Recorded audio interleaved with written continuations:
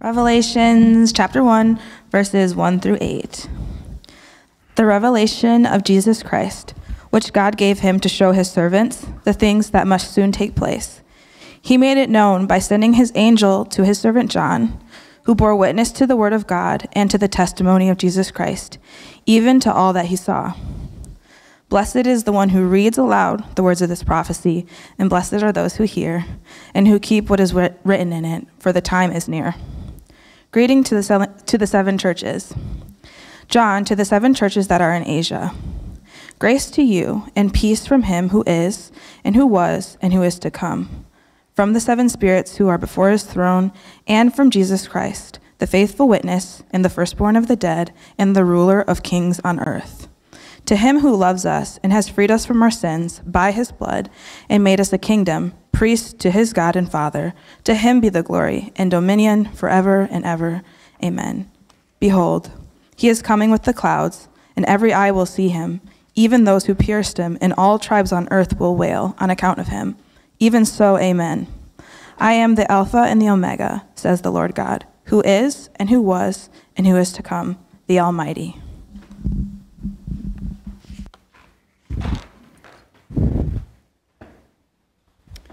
Thank you, Angelica. There's one word and concept that sticks out in that text that Angelica just read that can really hang people up. And that's what I want to talk about today. One word that has made countless people walk away from the Bible and from the good news that could set them free.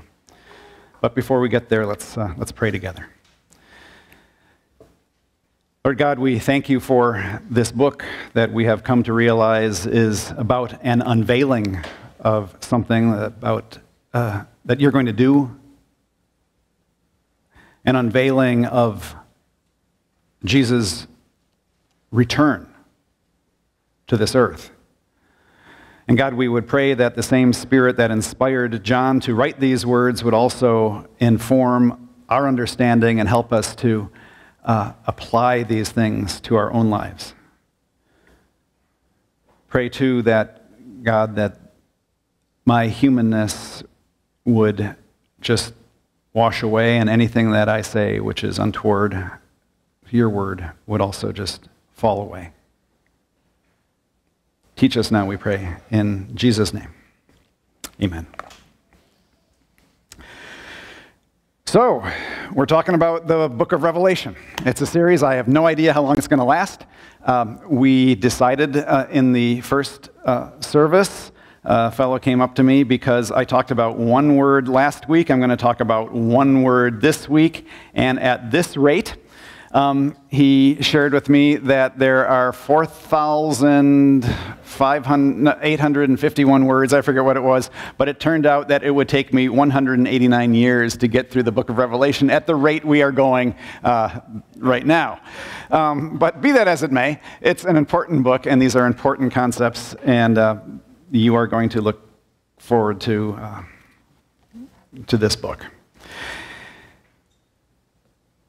Last week we began with the first word of this book, and we saw that that book is uh, the unveiling. That is the, the word, remember what the word was? Uh, what? Apoc- apocalypse.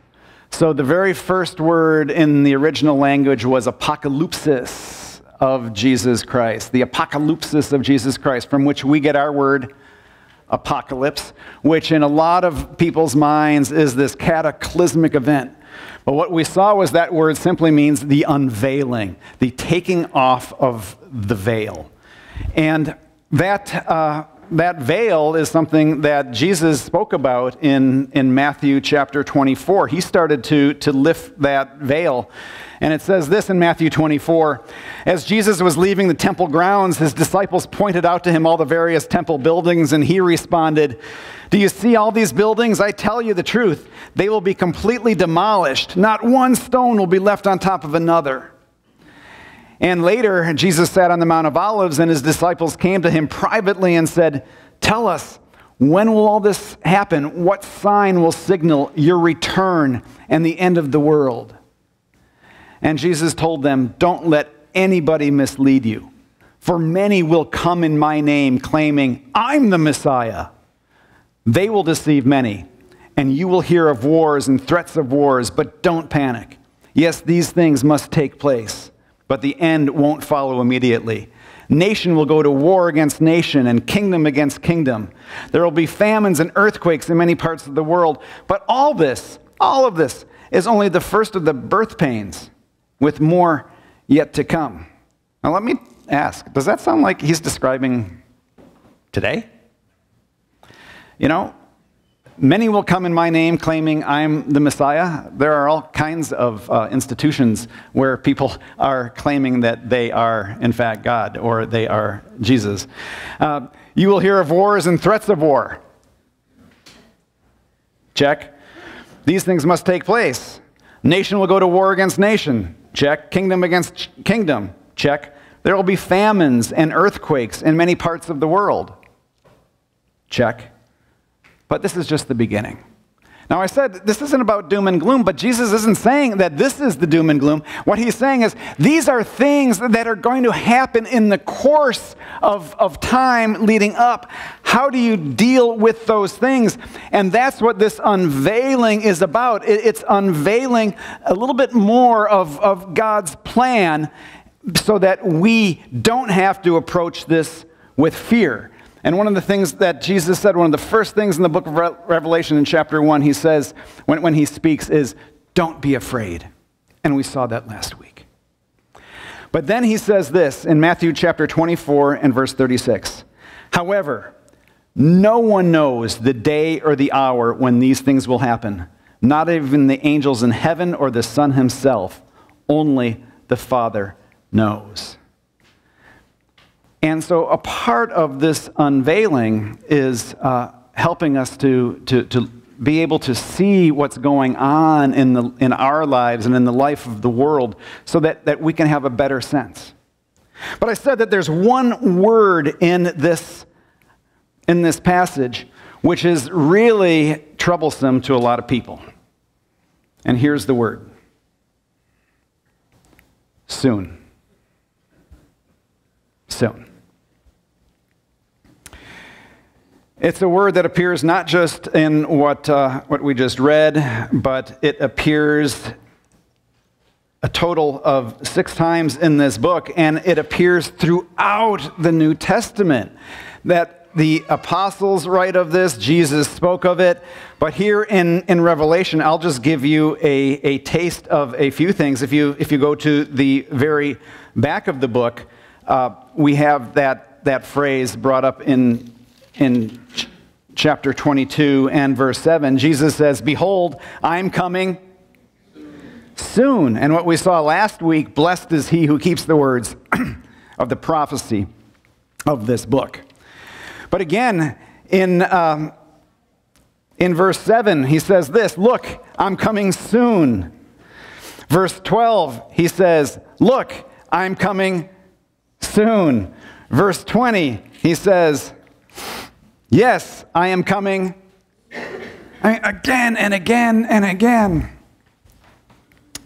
How many of you have uh, somebody in your life who uh, says, Yeah, I'll get around to it? You have someone like that?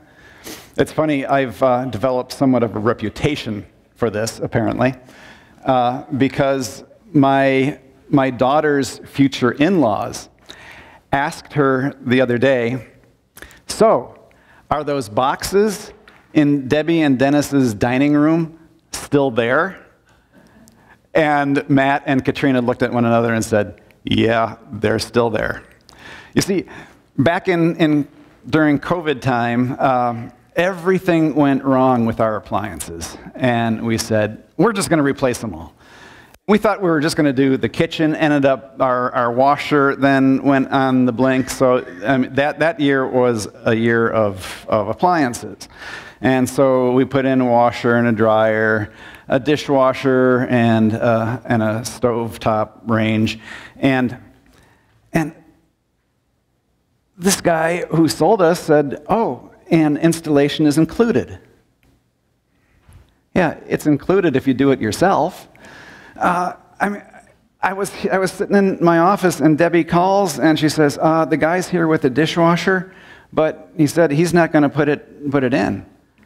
And I'm like, What? And I said, Well, how about taking the old one away? No, he said he's not allowed to disconnect the old one. I said, I'll be right there.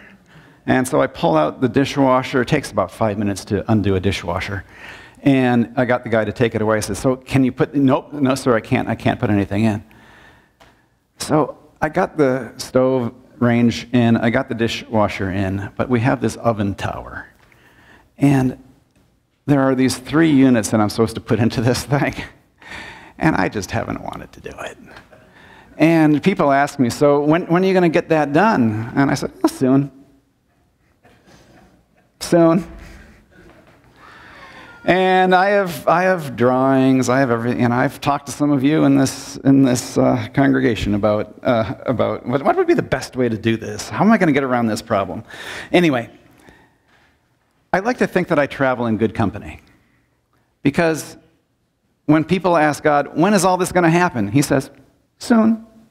Now, if God can take 2,000 years to fulfill a promise that He's made, uh, you know what? I think we, as fallible human beings, should have a little bit longer. So if you're married or if you have a friend or a significant other who, you know, struggles with this problem, just give them some space and realize they are just depicting Jesus to you. Okay? So, be that as it may. Uh, this word, uh, you, are all grumbling, and one, one person's walking out because of what I just said. this word, uh, can, can be taken a couple different ways, but here's, here's what I want to say. This word, as you incorporate it into your thinking, changes everything. And this is not taught enough in the church. It's not been taught enough at this church, and I, there, there are some churches who just totally ignore this whole deal. You see, the word can, can mean soon or, or suddenly. In fact, there is a story that Jesus teaches, and he says, uh, Be ready because my coming will be like a thief in. Some of you are familiar with that. And how do thieves in the night come? They don't ring the doorbell at 5 o'clock in the evening and say, hey, I just want you to know I'll be showing up later tonight, you know? But rather, they just come unexpectedly, right? They come suddenly. And when, when, when we start to understand this, we start to develop a mindset. It, it's more about a mindset than it is a chronological measurement. Let, let me explain that one. Okay, so if, if you know that a, a thief is going to be coming someday or suddenly, what do you do for that? You, you prepare. Maybe some of us are in the habit of locking doors. Maybe you lock a door. Some of you may take more of a defensive mindset. We won't get into that. I understand. I do too. Uh, but you see, we, we, we have a mindset toward that and we prepare for it. Right? And sometimes that, that mindset can become a little bit annoying. I, I revert back to, to my parents again. You see, because as a time approaches, as it gets shorter and shorter, we, we tend to put more and more urgency to it. So last week I, I asked the question how many of us uh, start to clean our houses when we, when we know that we're going to have guests arrive? Right? We, we, do that, right? Now, if you know you're going to have guests arrive um, a month from now, you, you, you don't really start cleaning a month from now, right? You, you wait. You wait. How, how long do you wait? Wait. How long do you wait? How, how long? The, the, the weekend of? Yeah, right, exactly. Weekend of. Um, and so here's, here's what, what my, my dad would do. My, my mom would be getting everything straight, and, and uh, she, she would work for a couple days the weekend of if, if she was having guests on, on Saturday night. And inevitably, my dad would take out his toolbox 30 to 45 minutes before the guests would arrive, and he would start to take apart the faucet in what we called the powder room because it was always dripping. And so my dad would say, I need to replace the washer. And my mom would get so angry. She'd, she'd go storming in and she'd look and Norm, I hope you're going to get that thing put together. Do you know what you're doing? You, is that going to be put together before our guests arrive? You know somebody likes to get here 10 minutes early. You know, and it was always this, this thing. But you see, as, as the time got shorter and shorter, my, my, my dad had this mindset of, I need to get that taken care of. And so, this idea of, of soon or, or suddenly is, is a powerful mindset which can propel our actions and it, and it, and it, can, it can inform the way that we think about something. Chris Prindiville is back. Um, yay, it's nice to see you. They, he came for his uh, niece's, niece's graduation this weekend from high school. So you're a great uncle, I must say. Uh, but I mean, Chris is a firefighter, and he's taken five months. They've went out to California, and he's, he's fighting fires. And I, I know that, that you guys adopt this, this mindset, don't you? you? You have a mindset that a brush fire can start soon. And a brush fire starting soon means that it can also start suddenly. Uh, we were up north uh, last spring, and I think I mentioned to you there, there were like 30 uh, people from uh, uh, forest rangers and, and the, the, firefighting team who were just up north, not because there were any brush fires, but because of the, the imminent possibility of brush fires up north, that they were all there scoping out what do we need to do to prepare in case one breaks out here or here or here? How are we going to get to it? You see, that, that expectation changes the way that you live, and it changes the way that you think. And so that's why we're taking one whole message to talk about this because it's important. I mentioned this last week that, you know, a month ago we talked about uh, the importance of, of communion. Uh, this do in remembrance of me. You are what you remember. And last week uh, I, I fell upon th- this phrase, and I really want to, to keep hitting this over the course of this entire series because you are what you anticipate. Turn to the person next to you and tell them, you are what you anticipate.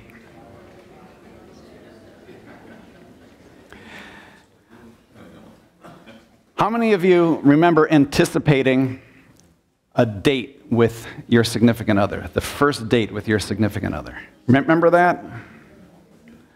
Uh, how many of you remember anticipating a big game? How many of you remember anticipating a review at work? Or negotiating a big contract? Every one of those anticipations changed the way that you were thinking about that moment in time in the future, whether you had a specific moment or not, and it changed your behavior, right? I got to get rid of this zit before I go out on that date. I have to make sure that I have this presentation spot on before I make this, before I, I show up for that meeting. Right? And it, it conditions what you, how you think and it conditions what you do. You are what you anticipate. And so when, when Scripture says, Behold, I am coming soon, when Jesus says, Behold, I am coming soon, this is foundational for who we are. Some of us grew up uh, reciting the Apostles' Creed. Uh, I believe in God the Father Almighty, the maker of heaven and earth. Remember all of that? 12 points, and the 11th point regards, I believe in the resurrection of the body. And what's that about? It's about what Jesus promised in uh, through the apostle paul in 1 thessalonians chapter 4 i don't want you to be unaware brothers and sisters of what is going to happen and he, he describes jesus return to earth and the resurrection of, of believers to, to make this triumphal entry into the world and you see when, when, when you when you anticipate that it changes the way that you think about it. How many of you look forward to a day when God will bring all things to justice? Won't, won't, that be great? You look around the world today. How many of you have ever been treated unjustly? Doesn't it, doesn't it just change the way that you think if you realize that God will balance those scales one day? Vengeance is mine, says the, says the Lord. And what does that mean? It means that I don't have to behave in a manner which tries to, to right everything, because one day God will. Do you, do you see how this works? Let, let me paint a, um, a bigger illustration. This last week, um, we, we celebrated the 80th anniversary of D Day. Have, have, you, have you seen the stories of this in, in the news? Uh, one, one fellow, one of the, the survivors of D Day who was going there to celebrate, actually died en route. Um, this is probably the last D Day where there will be present people who were at the actual beach in Normandy where D Day took place. So D Day was this, uh, was this huge dare I call it an event, this huge battle um, in the course of, of World War II. And let me just read it, make sure I get the, the facts right. On June 6, 1944, Allied troops from the United States, the United Kingdom, France, Australia, and Canada landed on five stretches of German occupied French coastline. It was the largest amphibious invasion in world history. So, amphibious invasion, that is, coming from the water onto the land. The largest one in world history. And what's important is that it laid the foundation for the defeat of Nazi Germany during World War II. See, what happened on D Day changed the way that the Allied forces looked on it, on themselves. The world and the Allied forces, they didn't know if they were going to be able to, to prevail over the military machine of the Third Reich. But come D Day and the significance of that victory, it changed their way of thinking. It was a traumatic powerful event. I was listening to one of the survivors describe coming up on a landing craft and, and ramming it in, in, into the shore and looking at the water with the waves running pink and the water running red. Can you imagine? And it affected not just the coming days and weeks and months, but it, it, it affected this guy's entire life his grandchildren, his children, his spouse were, were saying how, how he, he would wake up almost every day for the rest of his life screaming because of the images of that. When we remember our veterans, we remember the price that they paid, not just on a particular day, but through their entire lifetimes. But you see, D Day was pushing toward something. And what was that? It's what we call VE Day, Victory in Europe Day, to be distinguished from v, VJ Day. See, we don't, we don't talk about this enough, because these are important things. VJ Day, which was victory in Japan. So VE Day, notice, happened 11 months after D Day. And there were all kinds of battles and skirmishes which, which led up to VE Day. But there was this 11 month period which was brutal. And it was gruesome. It had more than a half a million U.S. casualties alone. U.S. alone. Remember the, all the Allied forces. This is just us in the United States. And of those, more than 100,000 were killed in action. This involves, you've heard of the Battle of the Bulge was during this time. All of these different skirmishes. But what made the difference when they didn't know if they would be able to defeat the military machine called the Third Reich? What made the difference that propelled them to VE Day? They all look back and say it was D Day. It was that victory on the shores of Normandy and taking that which began to push the Nazis back until they were ultimately contained. And Hitler took his life in defeat, and there was surrender. General Eisenhower was responsible for uh, leading through at that time, and the, the press people wanted to have this big story. And General Eisenhower, in his humility, said, No, this is the story. You want to hear the entire story? One sentence. The mission of this Allied force was fulfilled at 02 4100 hours, May 7th, 1945. Period. In other words, mission accomplished at 2:41 in the morning. Now, some of you know the, the power of this. If you've been uh, on a sports team and you've had a victory during the season and now you're coming back and you're playing that, that same team in the finals, what do you look back on? You look back on the previous victory, right? And that, that, that propels you. The coach is going to draw back on that and say, We've done this before, you've got this. How does this overlay with Jesus' soon and coming return?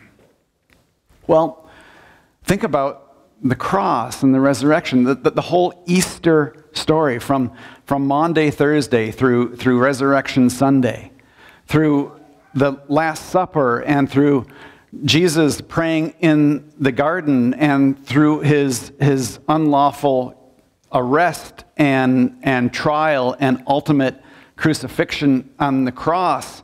And his, his saying that on, on the cross, it is finished, it is paid in full.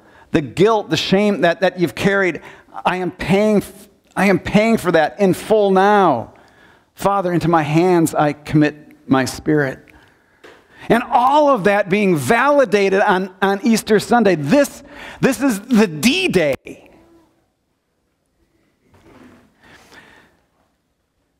And then in Scripture, we have this reference to that day, or the day of the Lord, or the final day.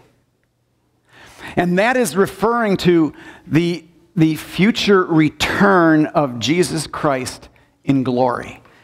I so remember I was standing in the Ludolf's backyard the year that this church, the summer that this church started, and we began. Um, I, I, teach through uh, the book of Acts that summer. I re-preached through the book of Acts not too long later, and it took me two years.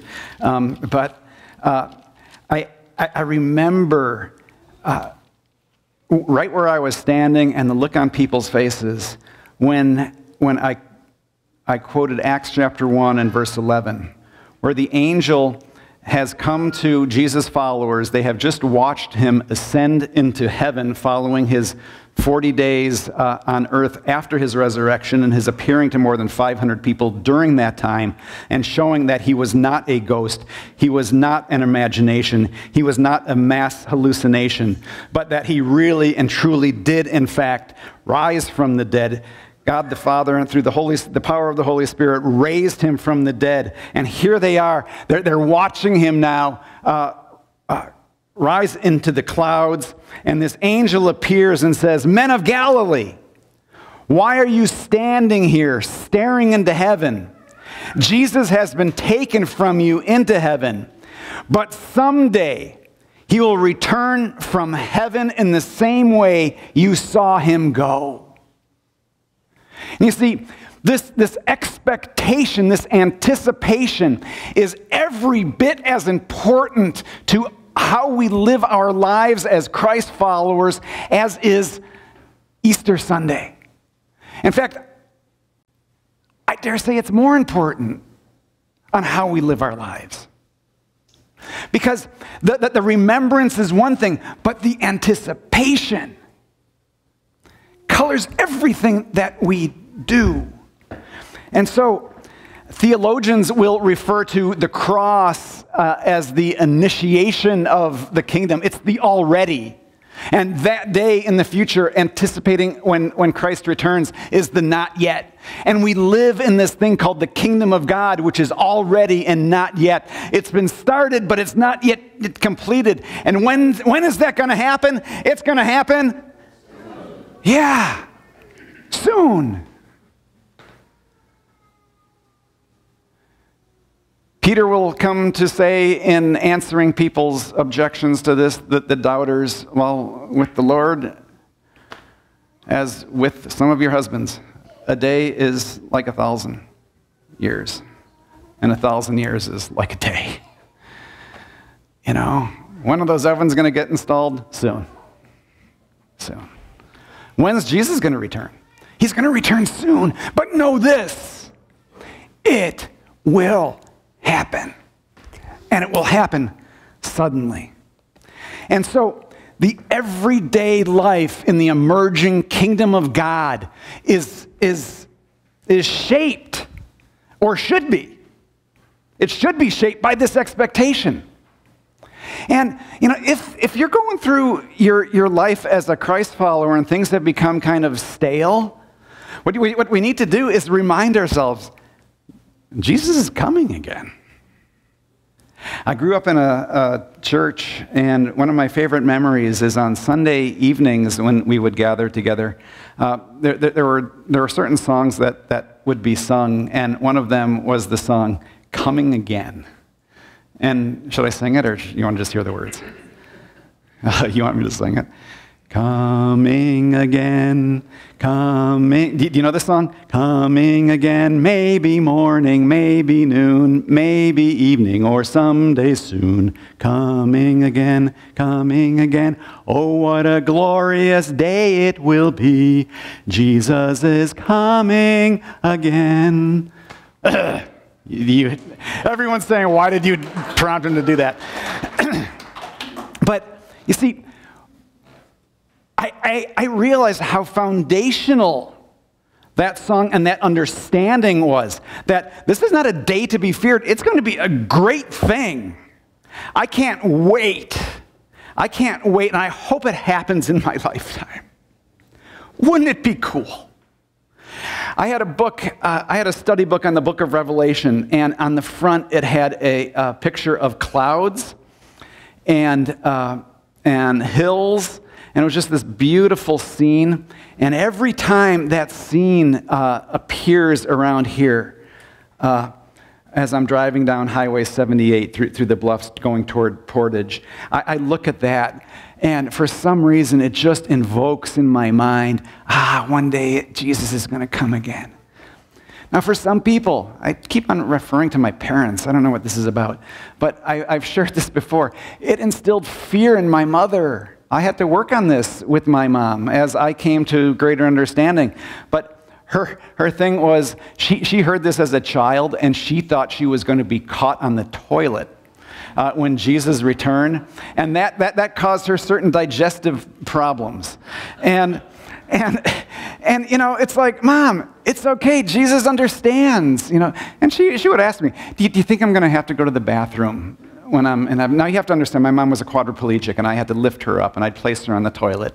And I, I had to basically emulate a, a squatty potty for, for my mom to help move her bowels. And, and she was so embarrassed to, to do this in front of me. And I said, Mom, you know what? You've discovered that you can do this in front of me. And Jesus made you. He doesn't care, Mom. It's okay.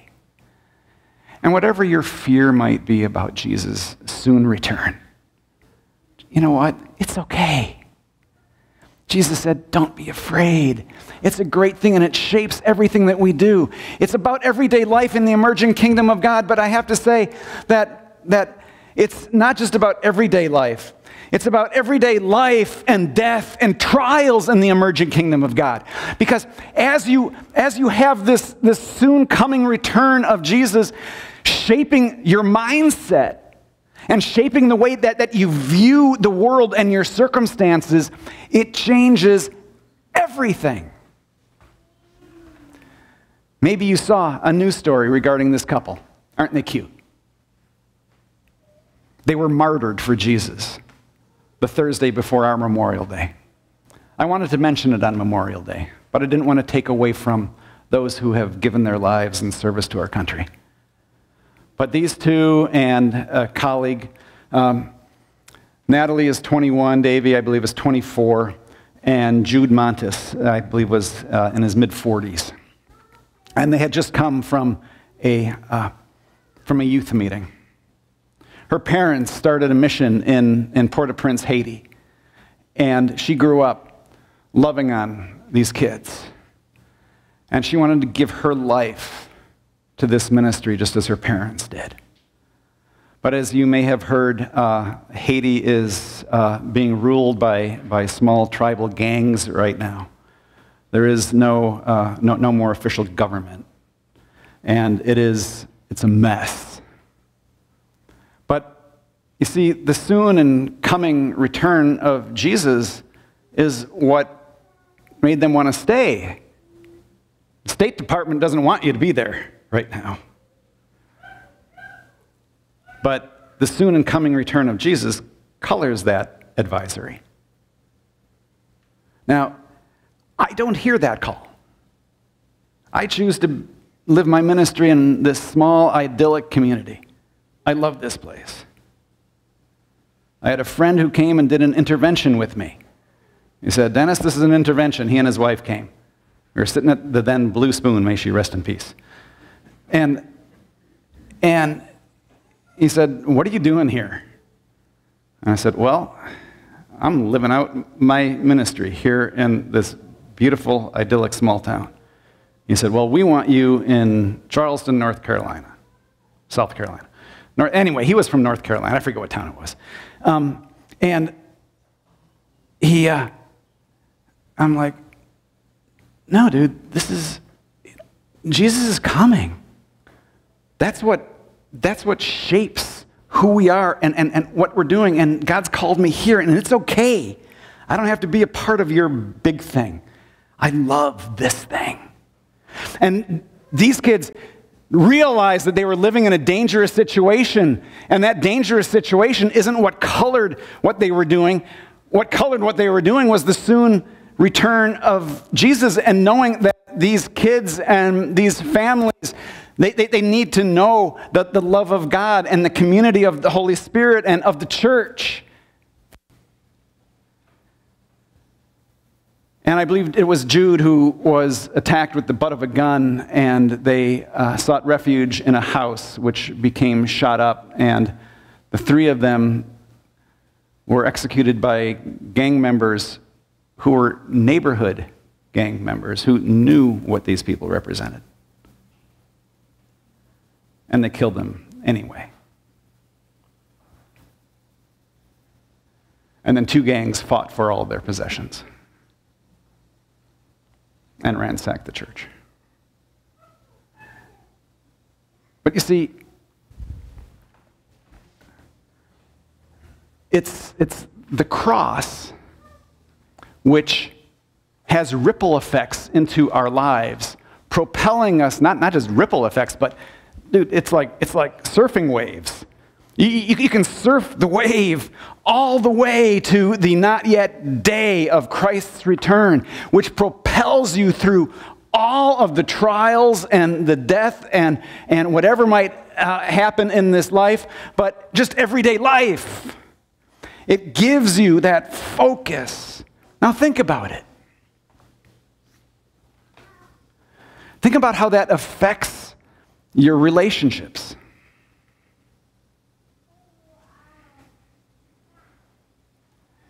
If, if things are out of sort in, in, your, in your life covenant relationship, and you're just not happy right now, the anticipation of Christ's return can color that whole thing. In Matthew chapter 25, Jesus paints a picture, and, and, and he paints a picture of, of, of a day when all things will be made right. And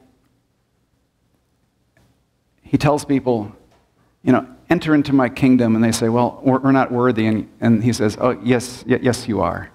Because you visited me when I was in prison, and you fed me when I was hungry, and when I was thirsty, you gave me something to drink. And they, they said, when did we do that?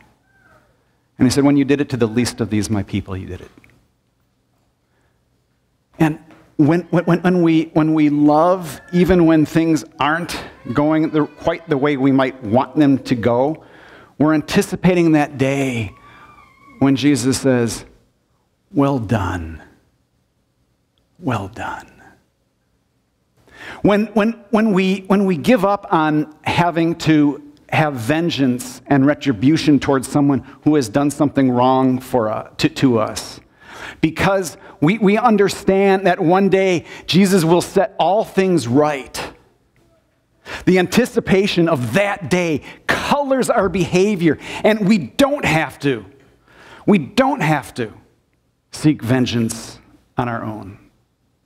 Vengeance is, says, Vengeance is mine, says the Lord.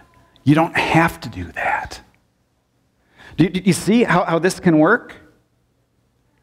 When, when, when you look at, at what you're doing with the rest of your life, this is the first day of the rest of your life. What's going to shape that? Is it going to be late night TV? Is it going to be whatever your favorite newspaper is? Or is it going to be what God's plan is for the arc of human history? Defined by the cross on one side and Jesus' return on the other. See, that's the power of this word soon. Jesus is coming again, and he's coming. And I don't know how long that is. And Jesus didn't know how long that, that was either. But this unveiling is unveiling that we can have hope through this whole thing. And so I close with this prepare. As you follow Jesus, wherever he leads, that you too will suffer. I mean, there, there are going to be times, okay? And our, our, mind, our American mindset of comfort, it's the greatest idol that we face in our lives. It really is. Everything is about our comfort. That ultimately we will share in the victory that was Jesus at the cross, at the resurrection, and in his soon return.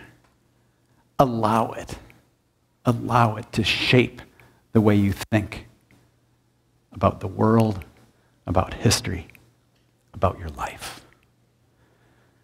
Lord God, we give your Holy Spirit permission to, to bring these thoughts and ideas and passages of Scripture back to us in the coming days and weeks and months. And God, when we, when, when we think about the soon return of Christ, let that, God, to shape our, our perspective. And God, when someone gives us a hard time, you believe that stuff.